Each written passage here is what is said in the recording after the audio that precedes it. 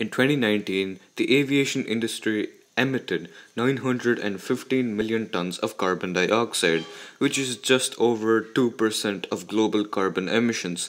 While it may not seem like a lot, if the global aviation industry was a country, it would rank in the top 10 emitters of CO2.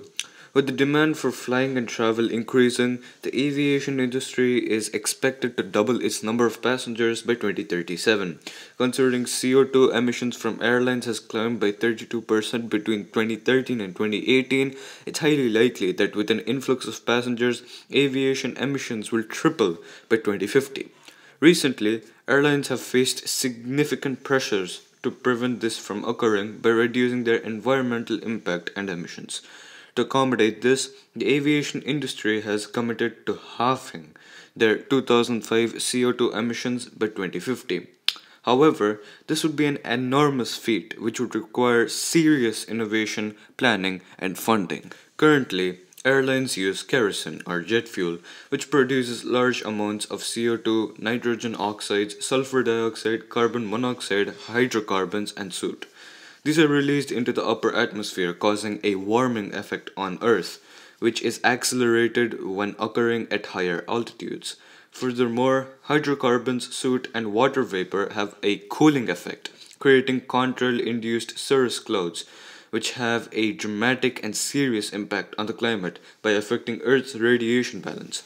When these are added with the negative effects of tankering, which means planes carrying more fuel than they need to save money on refueling at pricier airports, it is clear that something within the industry needs to change.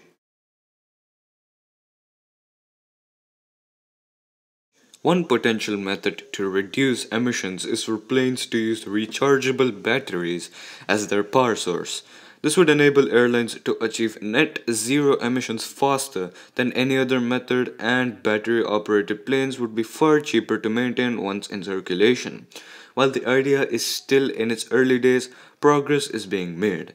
There are two seater electric planes being used to train pilots, and EasyJet have plans to develop a 180 seat electric aircraft by 2027.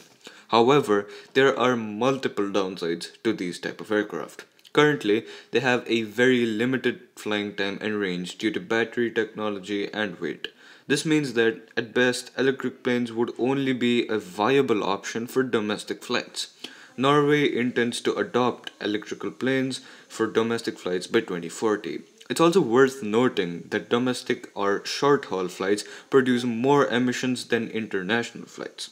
However, when considering battery issues, this is an overly optimistic time frame for both EasyJet and Norway. Perhaps a more likely option to achieve this goal would be a hybrid. Whilst the short term future of electric planes is uncertain, it is definitely a solution all airlines must work towards. Biofuels are an effective short term solution which reduces emissions. The biofuel process takes general household waste, turning it into sustainable aviation fuel. It emits 60% less greenhouse gases and 90% fewer particulates than fossil fuels. It also avoids the polluting process required to produce kerosene and it prevents the waste from emitting greenhouse gases in landfills. British Airways, with assistance from Shell, are at the forefront of biofuel development with plans to build a commercial waste to jet fuel plant. So, biofuels will clearly reduce airline emissions. However, they do have drawbacks. Biofuels still release the same amount of greenhouse gases as they would if they were in a landfill. They just have a shorter life cycle. Biofuels would not be used alone, but would be blended with kerosene. The International Airlines Group, or IAG, intends for biofuels to provide up to 25% of jet fuel by 2050.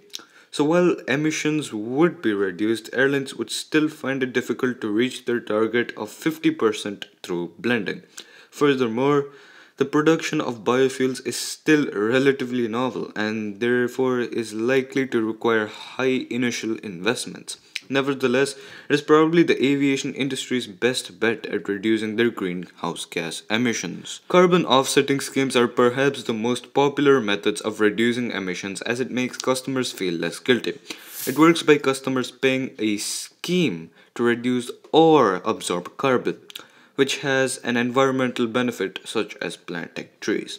However, these schemes do not deal with the initial problem of emissions. Instead, they distract from the issue, allowing corporations to continue with their current unsustainable and harmful procedures whilst shifting responsibility elsewhere. They would also need to occur on a mass scale if it is to have a profound impact. In 2016, the Carbon Offsetting and Reduction Scheme for International Airlines, or CORSIA, was introduced. This stated that any increase of CO2 emissions above 2020 levels would have to be offset by airlines. Whilst this is a fantastic breakthrough in terms of holding airlines to account, it still negates the initial problem as described and only deals with any further growth. It does not reduce emissions. Furthermore, China, which is responsible for 13% of global CO2 emissions, and Russia do not intend to take part until 2027 which does not help. Of course, the best thing to do to reduce emissions is for us to stop flying. However, this is unrealistic. Airlines are unlikely to advise against flying as they don't want to impede their own industry's growth and we want to go on holidays, carry out businesses, and visit family and friends. Instead, we should be more thoughtful in choosing how we travel and if we even need to travel in the first place. For example, if you were to travel from London to Madrid, you would emit 43 kgs of CO2 per passenger by train, but 118 kgs by plane. Whilst it may be a longer trip, it's far better for the environment. COVID 19 has also demonstrated to us that there are alternative methods to conduct international businesses. If we continue in this way, we could save hundreds of thousands of greenhouse gases from being emitted into the atmosphere. So, what can you do to help decrease emissions and your carbon footprint?